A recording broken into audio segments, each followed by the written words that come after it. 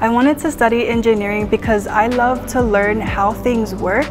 I chose AUT to study because AUT offers the Bachelor of Engineering Technology. I wanted the best experience of my university life as an international student while studying in a modern future-focused environment.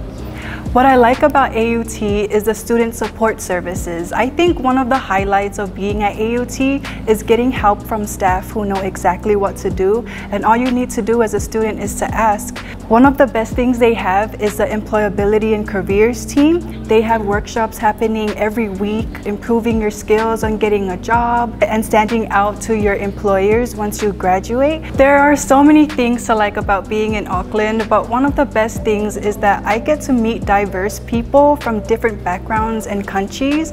I also appreciate how Auckland has the largest Polynesian population and being Polynesian myself, I'm happy I get to say hi to a familiar face every now and then. I'm very grateful to have been part of the Ministry of Foreign Affairs and Trade New Zealand Scholarship in the 2020 intake.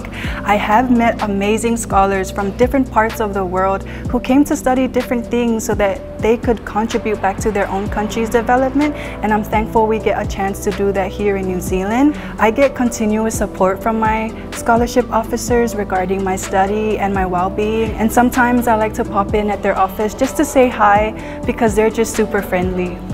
When I get back home to Samoa, I want to share my experience and knowledge that I've gained from being in New Zealand.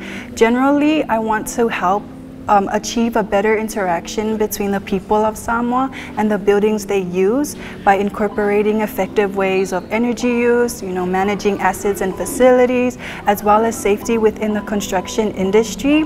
I've also gained a lot of confidence as an engineering student with the help of the support services AUT offers. So I would love to take back home some ideas on how future female engineers of Samoa can enhance their confidence in their studies and careers.